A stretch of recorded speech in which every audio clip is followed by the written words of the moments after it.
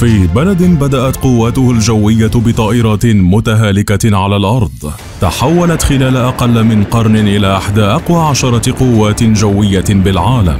عبر امتلاك نحو 889 طائرة عسكرية بينها 279 مقاتلة و81 طائرة هجومية و50 طائرة نقل عسكري. جاء اليوم لتجدد السعودية علو كعبها في السماء لكن هذه المرة من بوابة الطائرات المسيرة من دون طيار لتنتج طائرة مسيرة سعودية خالصة من الألف إلى الياء بأياد وطنية أسمتها حارس الأجواء لتكون فاتحة استقلاليتها الاستراتيجية ورفع جاهزيتها العسكرية المرتبطة بمنظومتها الدفاعية. فمسيرة حارس الأجواء التي رأت نور السماء بعد أن طورها مركز الأمير سلطان للدراسات والبحوث الدفاعية بموجب عقد بين الهيئة العامة للصناعات العسكرية في السعودية والشركة السعودية للصناعات العسكرية.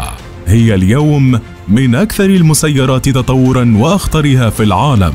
إذ إنها تندرج ضمن تصنيف طراز طائرة بدون طيار تكتيكية متوسطة الحجم ومتعددة المهام مزودة بأنظمة ملاحة وتحكم آلي بالطيران كما تمتلك كاميرات عالية الدقة وأنظمة إقلاع وهبوط آلي مع الاستمرار بتطوير أنظمة اتصالات ونقل بيانات لها. كل هذا جعل السعودية تعلن عن حارس الأجواء على أنها نقطة تحول بتطوير وصناعة وتوطين منظومات الطائرات بدون طيار. بهدف خلق منظومة دفاعية جوية جبارة محلياً وتوطين ما يزيد عن 50% من الإنفاق العسكري بحلول 2030 إضافة لخلق فرص عمل جديدة للكفاءات الوطنية وتحقيق الاكتفاء الذاتي من الطائرات المسيرة. فكيف بدأت قصة الطائرات المسيرة مع السعودية وإلى أين ستنتهي؟ سيرة المسيرات السعودية. بعد سنين من احتكار الولايات المتحدة وإسرائيل لصناعة الطائرات المسيرة التي ظهرت لأول مرة في حرب أفغانستان عام 2001 حين جرى استخدامها في الهجوم على رتل لحركة طالبان. وما هي إلا سنين حتى بدأت دول أخرى تحاول امتلاك تقنية الطائرات المسيرة التي تعرف أيضا باسم الدرون. فكانت السعودية من أول دول الشرق الأوسط التي حاولت امتلاكها بكل الطرق. قبل أن تفاجئ الجميع في عام 2012 بالإعلان عن المسيرة صقر من صناعة مدينة الملك عبد العزيز للعلوم والتقنية وكانت الطائرة مصنعة من الألياف الزجاجية والكربونية وتتميز بخفة وزنها وقوة تحملها ولا يمكن التقاطها من خلال أجهزة الرادار والاستطلاع. إضافة لميزة برمجتها من خلال غرفة تحكم أرضية مع احتوائها على جهاز تحكم آلي يقود الطائرة في الجو لجانب برامج تمكن هذه الدرون من التكيف مع كل الظروف مثل الرياح الشديدة ودرجات الحرارة المختلفة وزيادة الاحتراق للمحرك والهبوط أو الصعود الاضطراري للطائرة أو الانحراف عن مسار الطيران. لجانب أجهزة اتصالات تربط الطائرة صقر بغرفة العمليات بحيث يتم النقل المباشر والمستمر للصور والفيديو من خلال الطائرة إلى غرفة التحكم بما يتيح تغيير المسار والأهداف من خلال الاتصال المباشر والطائرة في الجو. وما هي إلا أعوام حتى أنتجت السعودية من المسيرة صقر 38 طائرة بواقع أربعة إصدارات. كان آخرها صقر واحد الذي أعلن عنه في الرابع من أبريل 2018 وهي قادرة على إطلاق صواريخ موجهة بالليزر وتستطيع القيام بمهمات استطلاعية وبحثية وتحتوي على أجهزة تصوير عالية الجودة فيما تمتاز المسيرة صقر اثنين بمدى يصل إلى 250 كيلومترا لمدة تحليق تصل إلى ثمانية ساعات بسرعة تقدر ب 120 كيلومترا في الساعة. وبارتفاع خمسة آلاف متر. ورغم أن صقر اثنين تصنف ضمن فئة المتوسطة بعيدة المدى تم تصميمها لحمل ما يزن 50 كيلوغراما من أجهزة التصوير والمراقبة مع إمكانية إضافة طبق للتحكم عن طريق الأقمار الصناعية بما يمكنها من تغطية مساحات أوسع وأبعد.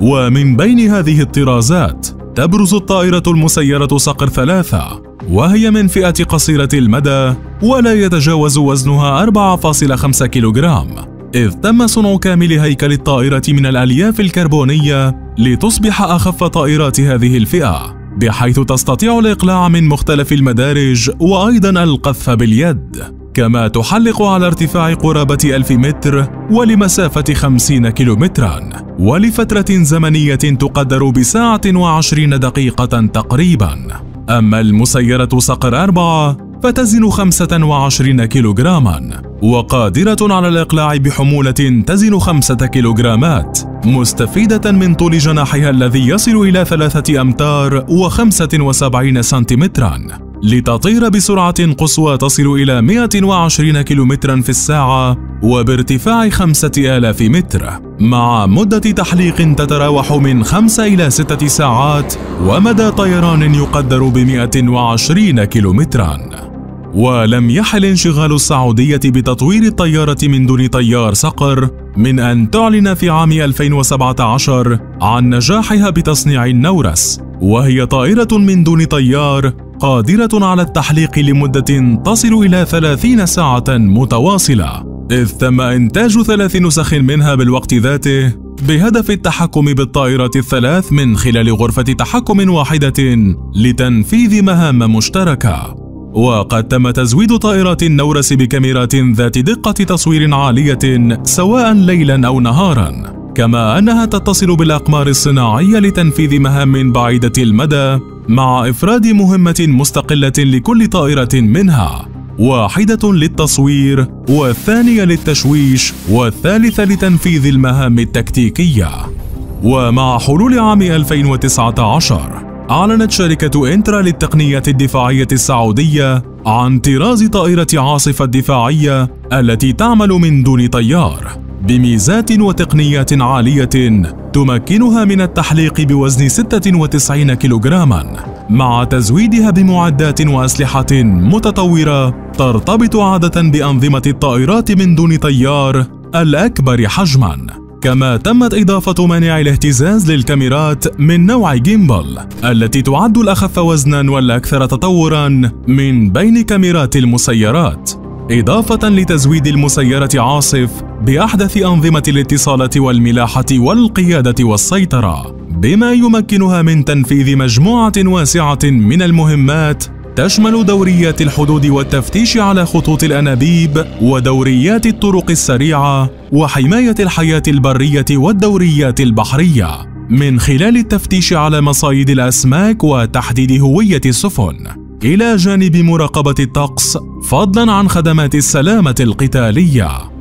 وأخيرا جاء عام 2021 لتعلن السعودية عن حارس الأجواء التي باتت الأكثر تطورا من بين مثيلاتها لدى سلاح الجو السعودي.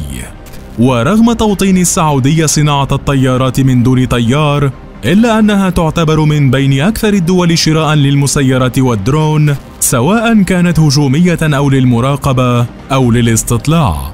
ففي عام 2012 اشترت السعودية 50 طائرة بدون طيار إيطالية من نوع سيليكس غاليليو فالكو. وفي عام 2014 وقعت السعودية عقدا مع الصين لشراء طائرات بدون طيار من نوع تشينغ دو لونغ كما حصلت المؤسسة العامة للصناعات العسكرية السعودية على رخصة لتصنيع الطائرة الألمانية لونا حيث صنعت بالفعل المئات منها إضافة للدخول بمشروع مشترك مع جنوب إفريقيا لتصنيع طائرات سيكر 400 المسلحة. وفي وقت تستمر السعودية بإطلاق تعهدات بجعل سلاحها الجوي الأقوى بالمنطقة بالاستفادة من الميزانية الدفاعية التي ترصدها المملكة العربية السعودية إذ تعد من أضخم عشرة ميزانيات عسكرية عالميا خلال السنوات الماضية.